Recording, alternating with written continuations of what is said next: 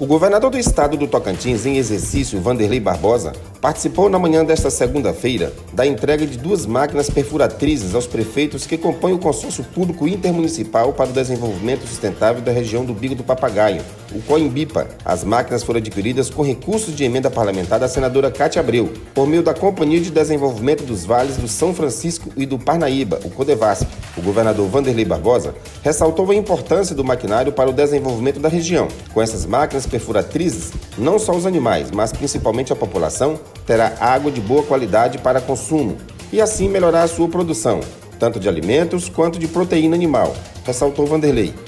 O prefeito de Praia Norte e presidente da Coimbipa, Minh Silva de Araújo, destacou que a expectativa é de que as máquinas atendam diretamente 100 mil habitantes. Essas máquinas já eram esperadas há muito tempo, tanto pelos moradores da zona rural quanto por parte da população urbana, que sofre com a escassez de água. E nós acreditamos que esse maquinário irá beneficiar mais de 100 mil habitantes da região do Bico do Papagaio disse o prefeito. O presidente da Coimbipa informou que os trabalhos com as máquinas terão início pelos municípios de Nazaré e Araguatins, até percorrer todos os municípios que compõem o consórcio, sendo no total de 25. A senadora Cátia Abreu, que articulou a aquisição das máquinas, frisou os investimentos na região.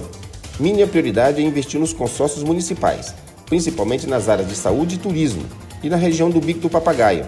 Estamos com três projetos das máquinas para asfaltar, sendo rolo compressor e escavadeiras, as perfuratrizes que foram entregues aqui hoje e o terceiro trabalho no bico, que será a aplicação de lama asfáltica, informou a senadora. Além das máquinas, também serão entregues aos municípios equipamentos de proteção individual para uso dos trabalhadores que atuarão nas perfurações dos poços.